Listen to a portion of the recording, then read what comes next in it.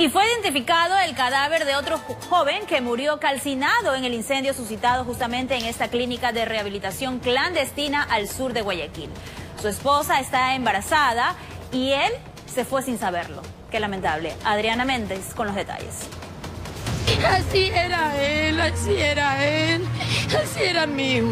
Envuelta en llanto irreversible, su madre nos cuenta cómo se enteró de que su hijo estaba en la morgue. No, no sabía que estaba en la morgue. No. Pensaba que seguía en la clínica. Sí.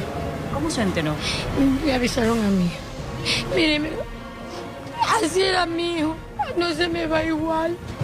Nadie sabe el dolor que, y el vacío que tengo. Víctor Luna iba a cumplir 22 años en diciembre. Tenía solo un mes ingresado en la clínica de rehabilitación clandestina. Se fue sin saber que su esposa tiene cinco meses de embarazo. Ella no le había contado porque estaba a la espera de un momento especial para que juntos y lejos del mundo de las drogas puedan celebrar. Esperando que llegue la visita para decirle que se haga justicia. Porque él salió de aquí caminando. Siempre sonreía. Usted nunca lo iba a ver triste. Ahora su cuerpo reposa en este féretro con una prenda del equipo de sus amores, a quien siempre alentó durante su vida.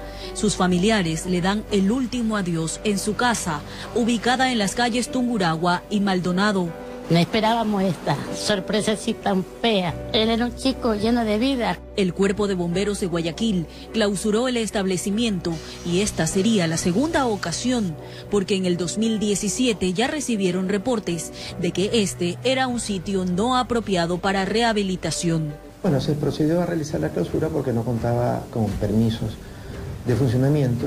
En años anteriores también ya tuvo una clausura y sin que hasta la fecha se haya tramitado el levantamiento ni cumplimiento de la ley.